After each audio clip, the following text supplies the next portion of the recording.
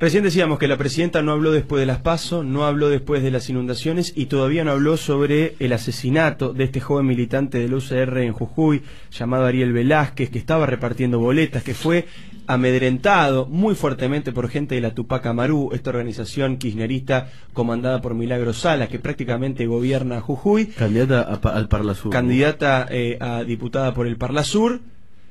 Y Luego de este amedrentamiento, misteriosamente, por supuesto esto indica que fue parte de lo mismo, este chico, Ariel Velázquez, sufrió una balacera, una de las balas le perforó órganos vitales y luego de dos meses de agonía murió.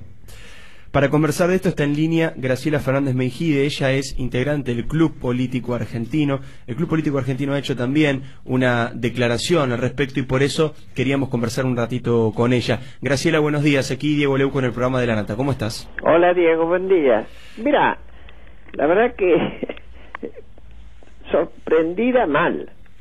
Primero por la muerte de este chico que se esperaba que pudieran salvarlo, no, no pudieron eh, nos retrotan estas cuestiones ante la fuerte sospecha de que ha sido un ataque por razones políticas, porque como bien dijiste, había habido un enfrentamiento previo con gente de Tupac Amaru, al asesinato político por este, en esta exacerbación montante del adversario considerado enemigo y al enemigo ni justicia e, es muy duro si es así y sobre todo la sospecha de que la investigación no se orienta por un camino obvio más bien están diciendo que lo mataron que fue un tiro por la espalda, mm, más de que además de que hubo varios tiros, el tiro que terminó siendo mortal fue por la espalda para robarle un celular, cuando en realidad ni le robaron nada, ¿no? ni un intento de robo. ¿Por qué Graciela estamos así anestesiados? ¿Por qué estamos hablando hoy de que un militante que estaba repartiendo boletas resultó asesinado por una agrupación salvaje que comanda Milagro Sala y lo contamos obviamente con dolor, obviamente con preocupación, pero siento que eh, a la sociedad tal vez le, la, o, a una parte de la sociedad, no hay que ser injusto tampoco, le impacta menos de lo que debería un asesinato en democracia. Nos hemos acostumbrado a muchas cosas, sin embargo, hay una reacción. Yo te digo, yo soy miembro del club político, el club político entre socios y amigos tiene unas 300 adherentes, todo el mundo rápidamente, el que no estaba contestando a Diero, mandó este, hagamos una declaración. Es decir, hay como un movimiento eh, que fue enérgico en este caso, más allá de la propia Unión Cívica Radical, por cierto, ya que era un militante de ellos, de gente que, que no es la Unión Cívica Radical, es un club donde eh, hay muchísima gente de distintas tendencias, las más variadas. A mí me parece, pero qué sé yo, analizar los problemas sociales harían falta sociólogos. Sin embargo, fíjate vos, un episodio que pasó ahora en la radio estando vos. Pues yo estaba escuchando. Eh, aparece Banoli diciendo, admitiendo, que para devaluar no tienen plata suficiente.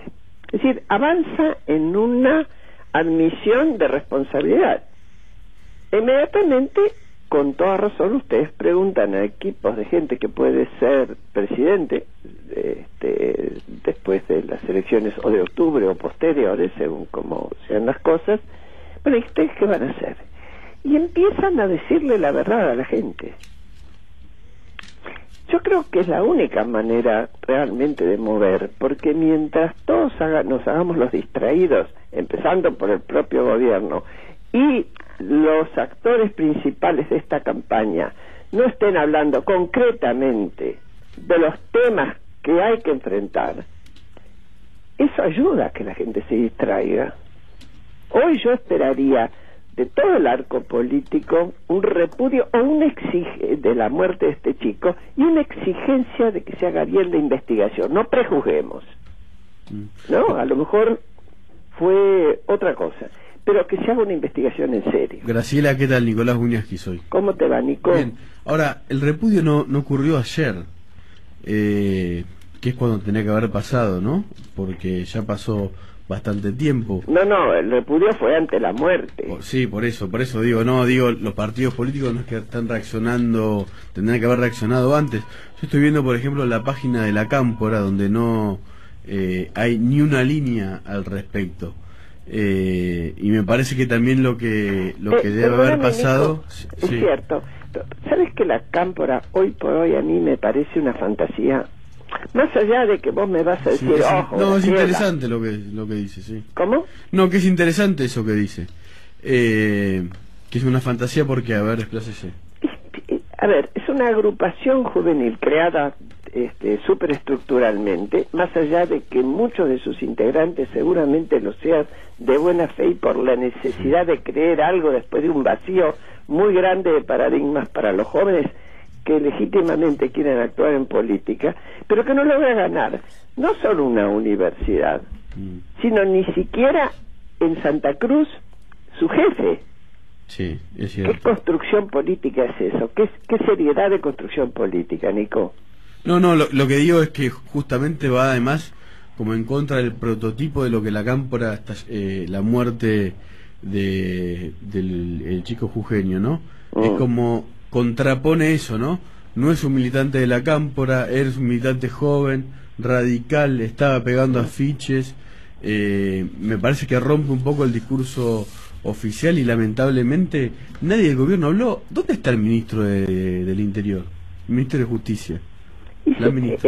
Ah, ah, y el jefe de gabinete y, y todo. Bueno, el ministro de Justicia, peor eh, actitud que la que tuvo de- cuando tuvo que dar explicaciones de cuándo iban a salir los resultados en las últimas Sí. elecciones, hace poco más de una semana, que hasta confunde el, el nombre de las pasos. Yo entiendo que para la gente común eh, determinar qué quiere decir paso desenvolviendo la sigla, va, es bastante lógico. Al ministro de Justicia, ¿no? Este, eh, es demasiado alejamiento de los problemas reales, creo que demasiada conmoción en algunos sectores, porque realmente se van a ir, se van a ir, aunque gane Scioli, se van. Y esto después de muchos años debe costar mucho digerirlo. Se me ocurre, no quiero entrar en la cosa psicologista, pero en política las cosas, perder el poder eh, es un golpe durísimo, hay que tener entereza. A ver, yo miro por ejemplo a Estados Unidos, donde es normal la alternancia. ¿Cómo se va Obama? Se va no como el único presidente negro que tuvo Estados Unidos, sino el que se metió con el seguro social de salud, con el que salió con leyes para proteger a los inmigrantes indocumentados, como el que estab- restableció las relaciones con Cuba, que te digo, ustedes saben que para Latinoamérica la influencia que tuvo la revolución cubana, hoy que Cuba se acerca a Estados Unidos y viceversa, es casi como fecha para comenzar el siglo XXI en América Latina. ¿eh? Es cierto. Gracias, Graciela, por tu tiempo. ¿eh? No, perdóname, pero volvamos a este chico. Yo creo que hay que, por Facebook, por, por Twitter, por las redes que sean, hay que exigir que se haga una investigación seria. Muy bien, así estamos. ¿eh? Estamos de acuerdo con eso y lo exigimos y lo pedimos desde aquí. Te mandamos un abrazo grande, muy amable como siempre. Para vos también, que te vaya muy bien. Graciela Fernández Mejide, referente de los derechos humanos y además también, eh, bueno, eh, miembro del Club Político Argentino que emitió un comunicado de muchísima preocupación sobre lo que pasó en Jujuy con este pequeño, con este joven militante de la UCR, Ariel Velázquez, y por eso queríamos también tener su palabra.